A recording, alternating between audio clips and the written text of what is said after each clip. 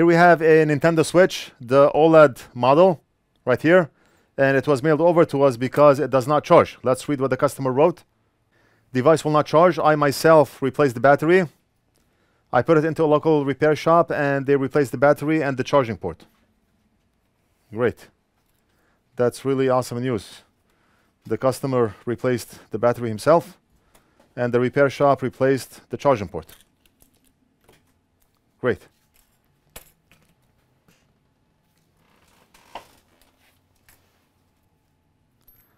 Let's see what's going on with the board and how the board looks like. I have not fixed a Nintendo OLED model yet, but the board does not look that much different. The chips are not located in the same location. Let's quickly go over the board. This is the first Nintendo OLED that we get in the shop here. Let's start with the battery connector. Usually we have a BQ chip right here, the charging IC, but it's not here anymore. This is the charging port. We still have the fuse here. Oh, it looks like right next to the charging port we have the BQ chip. So they switched it from here to right here. The location here is actually much better because usually when the chip is here, we have to cover this plastic piece so we do not burn it. We usually have to cover this one because this plastic connector is very close to the chip. So right now they switched the location of the chip and now it's a lot easier to work on the chip not having to worry about burning the plastic connector. So now we know where that BQ chip is and let's take a look and see if our M92 chip is still here and it's not. Usually our M92 is right here but the layout of the board is completely changed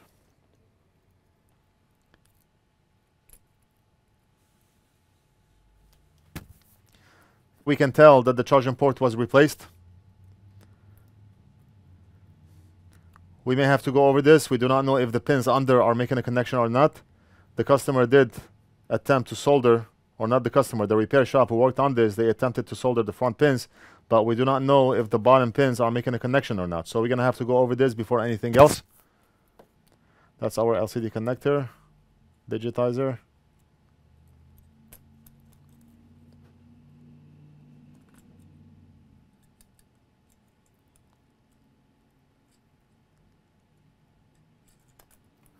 Let's flip the board.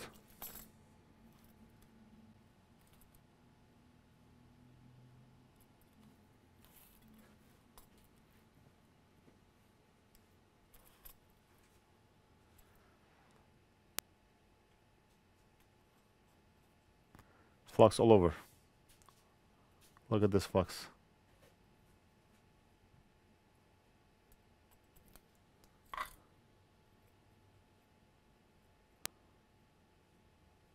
Oh, right there. That's our M92. So our M92 chip is on the back, probably next to the P13. I mean, why is the board all covered in flux? Wow.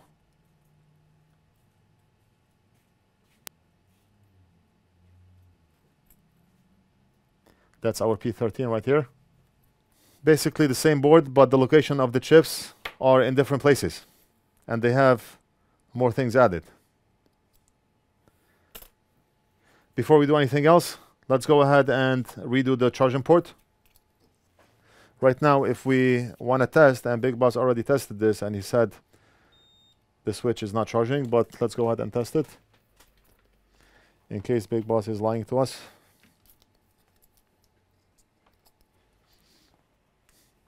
He cannot hear me. Black display is black. So it's not charging.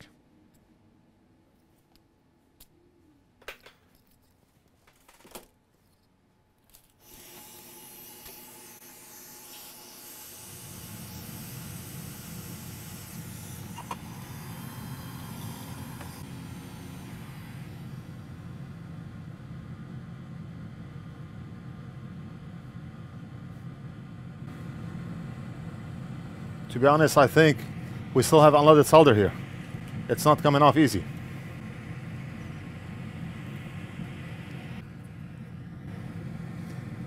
But when tough gets going, go and get stuff. If the Switch want to play games, we can play games too.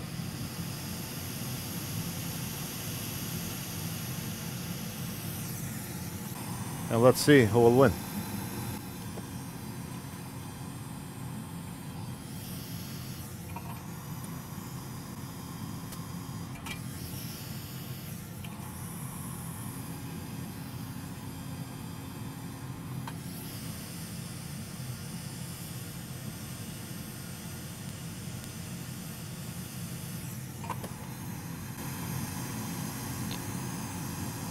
We're already clear here, but we have a white background under. And why is the camera not in focus? Right here.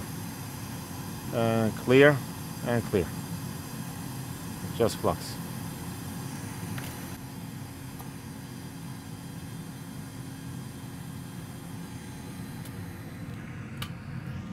Now we're gonna pre-apply solder onto the pads.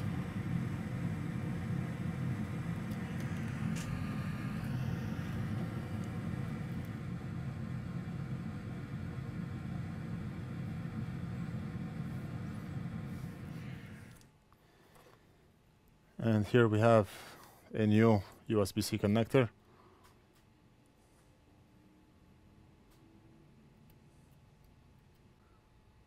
I'm not sure that this one will work. It looks like... Oh man, it looks different. I do not have any OLED connectors. I thought this would be the same connector, but the regular Nintendo Switch connectors will not work here. Okay, let's go back to the customer's connector and reuse it. And right now I'm using the Northridge Fix board holder right here. And that's our USB-C connector on the bottom. The Nintendo Switch motherboard is awkward in shape and there's no board holder that could hold it properly. So this one, we're able to adjust the pins so we can hold the board. That's reflow.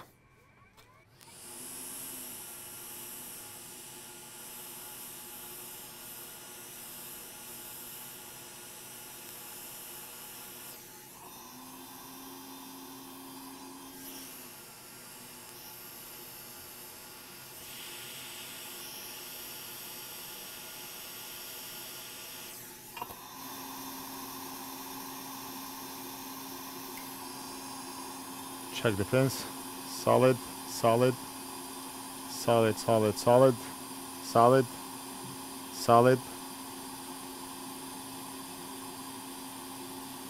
and solid. Let's solder the back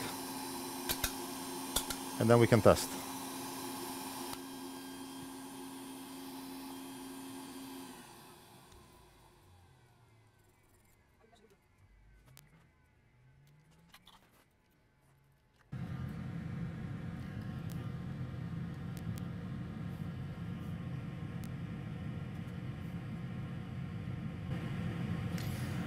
regular switch we used to have two holes here. Two holes two holes. One hole and one hole on the bottom. But right now we have one one one and one. So we have four instead of six. Before we do anything else let's plug in a battery and see what we get before we had a black screen.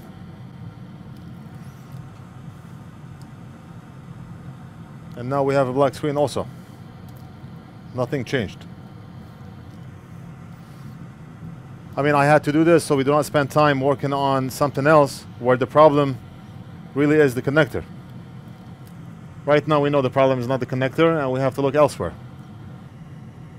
We have 9 volts here and we have 9 volts here at the fuse. Alright. Unplug the cable. So the problem is not the charging connector.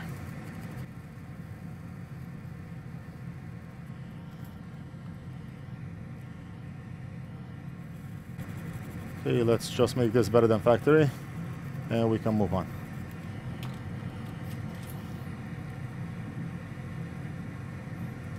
Alright, the next thing I want to do is measure at the M92 area and we can measure at the BQ area also. Right now we are getting 9 volts at the fuse here so we know that voltage is reaching. We'll do more cleaning after we're done. Hopefully we can fix it. I mean, the customer left a lot of flux on the board, and I do not know what type of flux was used, but that's some really sticky stuff. Meter in diode mode.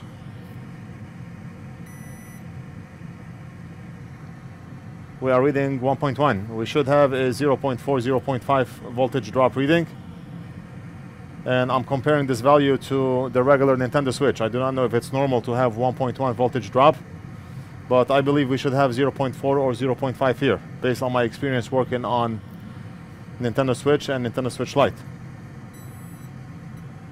0.5 is good. 0.5 is good. 0.5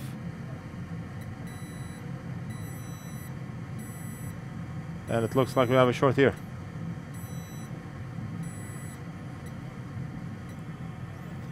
0.24 voltage drop. We have a short here. We do not know if the BQ chip is what's causing the problem. Why don't we desolder the BQ chip and see what happens before we start injecting voltage, thermal camera and all that good stuff. Let's just remove the chip and see what happens.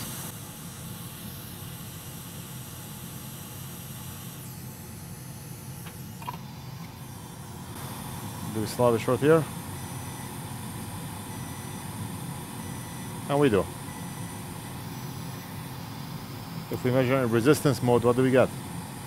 I'm getting 18 ohms, 19 ohms. It's going up. Let's wait until the board cools down a bit because the reading can change if the cap is hot. What happens if we inject voltage and monitor the board under a thermal camera? Right now, if we inject voltage here, we're not getting any amp draw, which tells us that we do not have a short. This is ground, and we have 6 amp draw, but here we have nothing. No amps being drawn here, so we do not have a short. Let's go to resistance mode. This is probably low resistance, and that's why it's reading a beep in diode mode. If we measure here,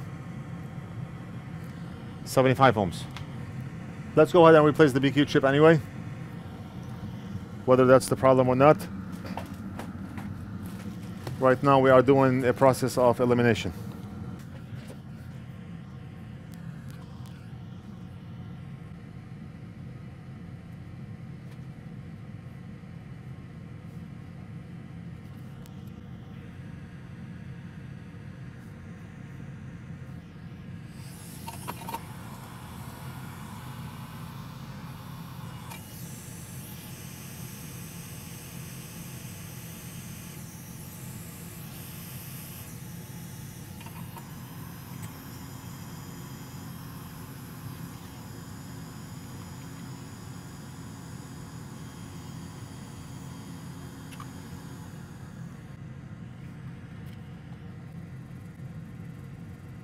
And now we're gonna see if anything changed.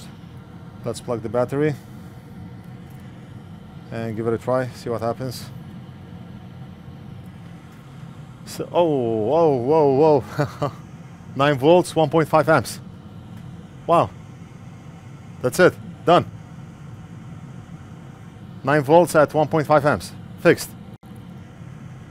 Wow. Okay. I'm gonna give this to Big to reassemble and test and I'll be back to finish the video. We reassemble the switch and of course the switch is working. I mean honestly we did not need to reassemble the motherboard to know if that switch was going to work or not because I was able to tell by looking at the numbers on this charging station. The number was reading 9 volts at 1.6 amps which is perfect. If that console was stuck at 12 volts and not switching to 9 volts then we know that we have an issue but the fact that the numbers were correct, it was an indication that the motherboard was fixed. That's it. We're going to end the video right here. I hope you enjoyed it. Don't forget to like and subscribe, leave a comment if you have any questions, and we'll do something else in the next video.